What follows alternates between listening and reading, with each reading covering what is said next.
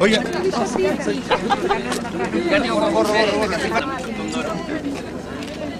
Don Javier. Miren para acá. Ya, miren para acá, ahora sí. No nos vamos a perder.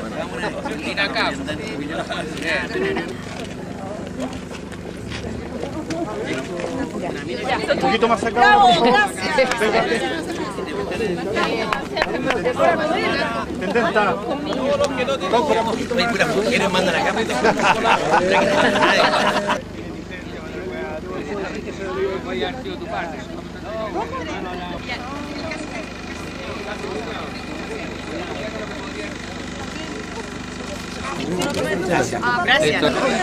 podríamos hacer algo mujer, capacitarla, seguir Buenas tardes, señora Paula. Buenas tardes. ¿Qué le pareció la actividad que tuvo con la gente acá de Dicha? Emocionante, muy bonita. La verdad que es una zona eh, que yo encuentro preciosa, preciosa.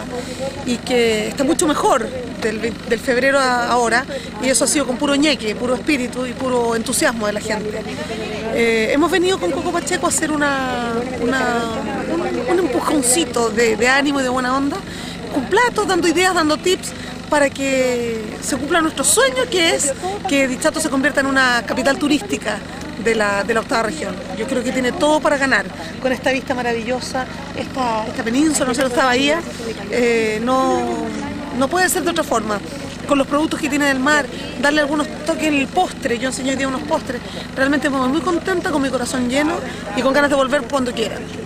Ya, señora Paula, muchas gracias. Felicitaciones por el trabajo que hacen acá.